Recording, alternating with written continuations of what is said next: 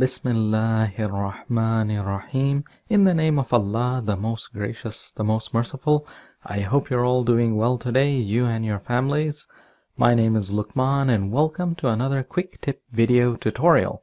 And in this one, I want to show you how to make a sliding door system with a button that you can use, well buttons that you use to open and close those sliding doors. So how about I hit play here and I'll go ahead and press the open button. You can see the sliding doors open and I've just got my debug.log going there and if I hit close, the sliding door closes. So yeah, it's nice and simple.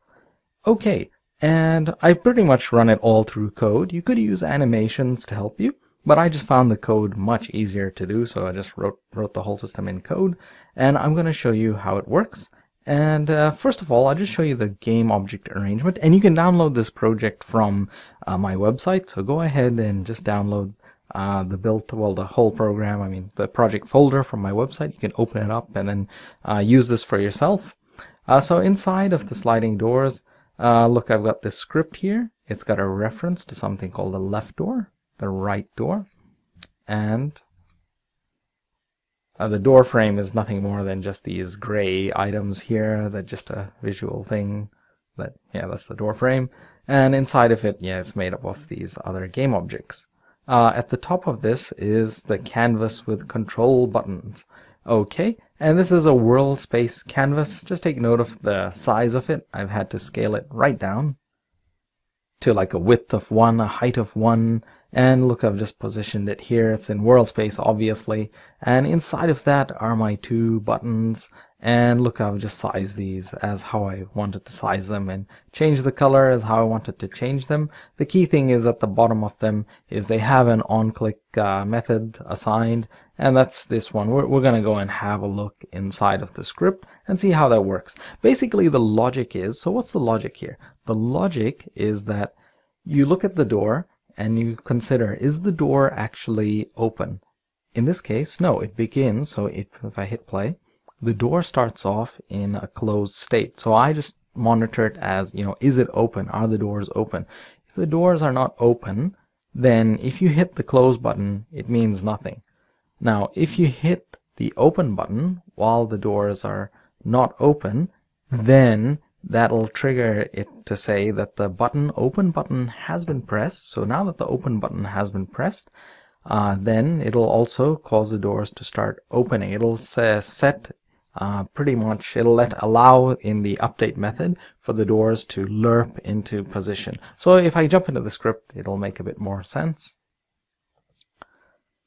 So going right up to the top here, we've got our references that you saw in the inspector earlier. So I've got my left door, the right door. I just keep a copy of the transform and that's what I operate on. And then here's my variable. This is actual speed of the door. And of course I can just adjust it to whatever in the inspector. Size of door in X, that's very important. And the amount of door in wall, 0.9. All that means is by 0.9, I just mean that look, uh, that basically 10% of the door is sticking out of the door frame. That's exactly what it means. So 90% of the door went into the wall. And when I say size of door, that's also pretty obvious. It's got an X size of 1, and that's what I'm just putting in the script. It's part of the calculation you'll see below. Alright, and then I've got all these vector 3s here. These are basically the positions to which the door will move for closing and opening. That's basically it. So I've got here like a left door closed target. You can see here a left door open target. Why don't I zoom in a bit more to help you out so you can see it a bit better.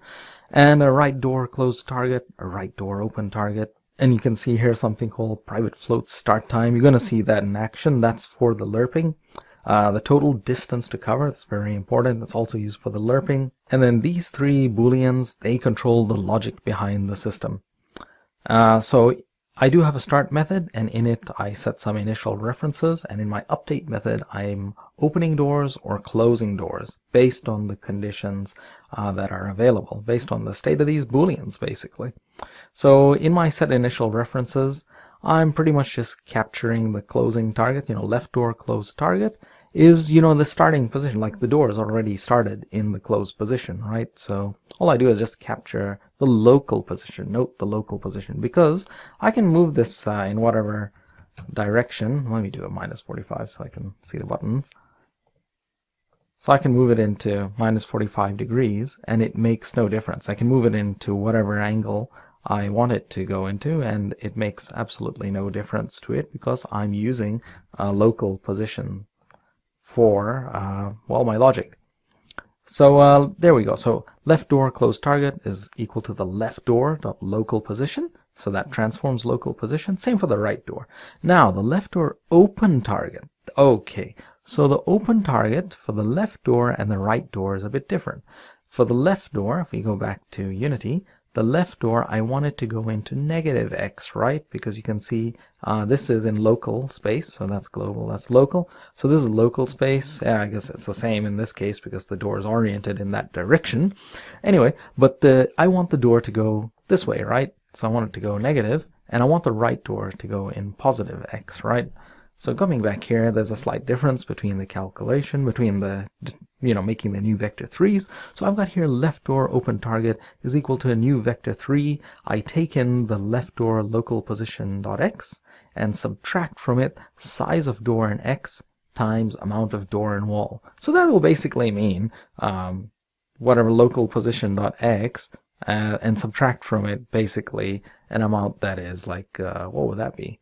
Size of door is 1 and that's 0.9 so 0.9 is basically going to subtract 0.9 from this. So yeah that's exactly it. My door's got 1 meter in size and I'm pushing it 0.9 meters to the left. So that's exactly achieving what I want there. And the local position dot y and z are exactly uh, the same. It's not moving in those directions so you just maintain those things. Uh, and same for the right door except instead of subtracting we just add that 0.9 of a meter to the right okay now, total distance to cover. This is very important for the lerping, so we'll get to that. Uh, what we have here is simply calculating the distance that the door has to move between the left door closing closed target and the left door open target. I just use the left door. You can use the right door. It doesn't matter. Uh, just use both the open and closed target for the same door to just give a figure here. Okay, now let's go to our method. This is the void open doors. We've got a void close doors.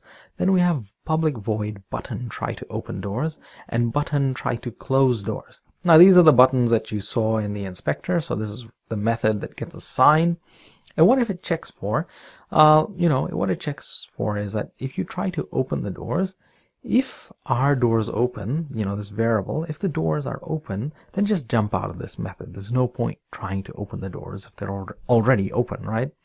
But when we start the game, uh, obviously the doors are not open. They're closed and that variable is in the false state. So when you click that open button, open door button, this is actually going to find that, yeah, actually the doors, uh, it is in the false state. So that's not going to return. It's not going to jump out of the method. And we're going to capture the start time. Exactly what time is it right now in the game? And you're going to use that for the lerping. Then I'm going to say is door open button pressed is equal to true. And this means that, you know, I can't go and just start hammering on the other button uh, to make it try and close the door immediately. So there's a bit of a bit of a logic there you're going to see up above. So how, why don't I just jump up, okay? It's, it's pretty much the same logic for button try to close doors except in the opposite. So why don't I go up and have a look at the open door method. Alright, so in the open doors method, I'm checking if our door is open or not is door open button pressed. So if the door open has an open button is not pressed, then just jump out of this method. There's, you know, it's there's no reason to continue trying to carry out the rest of the instructions if the player isn't hasn't pressed the open button in the first place. But if they do press the open door button, then this is going to be true. So it's going to continue on. And the R's door, our doors open, you know, it's, they're not when we start the game. Okay, so now we calculate the distance that's covered every frame. Okay, so this is in the update method, right? This is how you lerp. So we, uh, we calculate the distance covered every frame. And that is equal to time dot time minus the start time. So you see the logic there with capturing the start time when we click the button. So if that time is say, you know, uh, 1000, so let's say it's some number called 1000, and then the frames are passing and now the time is 1100, so it's 1100 minus 1000, which is equal to 100, times the move speed. That'll give us the distance covered. So if the move speed is 1, it means that you know 100 uh, I guess in this unit 100 meters would have been covered right? So that's the amount of distance that would be covered. And then our fraction of journey which is an important variable this pretty much determines where the door should end up in the lerping. So you have to actually tell the lerp method of function, you know, what fraction of journey has been completed uh, at every frame, right? So float fraction of journey is equal to this distance dot covered over the total distance to cover, right? Okay, so that was what we calculated up above, the total distance to cover. So the maximum value, of course, is going to be 1. It's going to be a 0 to 1 value. And what this is now going to do, so we've got our lerp here. So we've got here left door dot local position is equal to vector3 dot lerp from the left door dot local position uh, towards the left door open target position, right? And that open target is to the left for the left door, right? Uh, shouldn't use the word right, should use the word correct. And the fraction of journey, so as time progresses, fraction of journey will get closer and closer to one, isn't it? If you think about that, fraction of journey will continue getting closer to one, and as it does so, uh, the left door is simply going to get close, then it'll assign to that position of the left door. That's how the lerping works. So you have to keep telling it the updated fraction of how far it is from where it starts to where it ends. You have to tell the method where that what that fraction that's been completed is. So you use the time, the time right now and the time when you started doing this operation. Those are the things that you need to do for a lerping. You need to know the time that you started. You need to keep track of the time as it's progressing and you need to then use that to determine the distance covered and then use that to determine the fraction of, you know, how much of the journey is actually completed and then you tell give that to this method and it's gonna then move the door to that position for you. And that's it uh, pretty much. So all I'm saying by at the end of the journey I'm saying if mathf dot approximately both of the doors are moving at the same time right? So I just use the right door. You could use the left door it doesn't matter.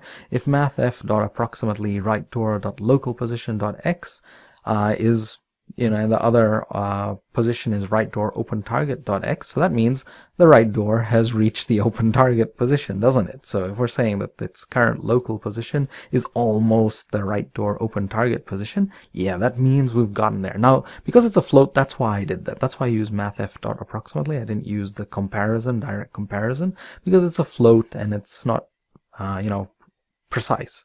There's quite a few decimals there. And then I'll just simply, this is for myself, debug.log doors open. And then I say, are doors open? Yeah, it's true. It's now the doors are open. And is door open button pressed? No, set it to false with finished opening the doors. And that's it. And closing doors is the exact opposite operation. So that's it. So this logic is pretty simple. Uh, once you once you start, you you have to get used to sort of, I guess, programming. I guess in my case, I've been doing this sort of coding a, a bit, so I, am used to it. Uh, but once you start doing it, then you get very used to it, and it's very powerful. I mean, you can e easily set up a script like this in no time, and you get going with it, and it's very versatile. And you can use it for other things. You can make a single, you know, single sliding door if you wanted to. Uh, up to you how you want to do it. You could make it into an elevator if you wanted to. Maybe I should make a video about that too, how to make a platform elevator or something like that.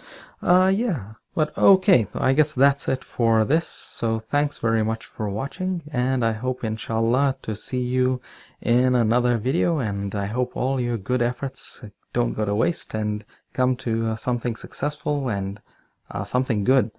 Okay, and don't forget to download the project off the my website so you have this uh, as well, so you can have this as a resource and go ahead and use it. And uh, look, don't forget to subscribe as well. Thanks very much and bye.